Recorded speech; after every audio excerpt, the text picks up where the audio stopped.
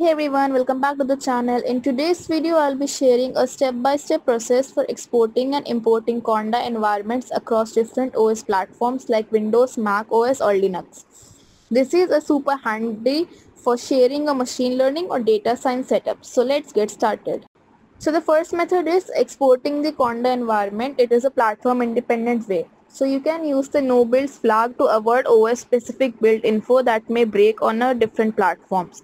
So first you need to activate your environment by writing the command conda activate and then the name of your environment.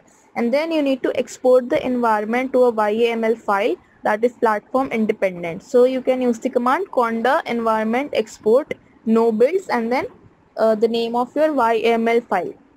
Optionally, optionally for even more cross-platform compatibility, excluding the pinned versions, you can export only the manually installed packages by writing the command conda list explicit and then the name of the text file uh, for example explicit env.txt the next method is importing the conda environment on another os uh, so we have like two options. The first option is using the yaml file. So you can create a new environment for the YAML file by writing conda environment create f and the name of the .yml file for example environment.yml and if the environment already exists then you need to write conda environment update f environment.yml and uh, double dash prune.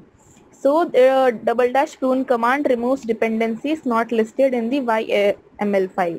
The next option is using the explicit list. So it is less common but a more controlled method so you can recreate environment using an explicit spec file.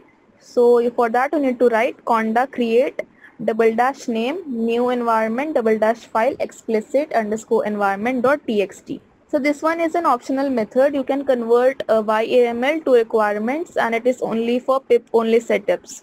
So if you want to switch from conda to pip or work in a pure virtual environment you can extract only the pip dependencies from the YAML so to extract the pip only dependencies from YAML you need to write the command grep a 1000 pip environment.yml sed 1d requirements.txt then in a virtual environment or a pip environment you need to type in pip install r requirements.txt some good practices you should follow for cross OS compatibility. You should always use no builds in export to avoid platform specific package package builds then you should avoid pip dependencies if possible or list them in a separate requirements.txt file.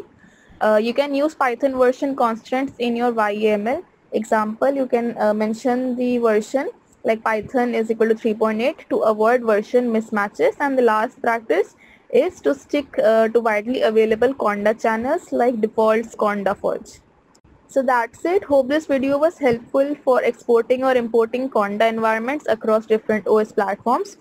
Uh, if you found this video helpful, don't forget to like this video, share it with your friends, subscribe to the channel and hit the notification bell so you never miss an update. See you in the next one.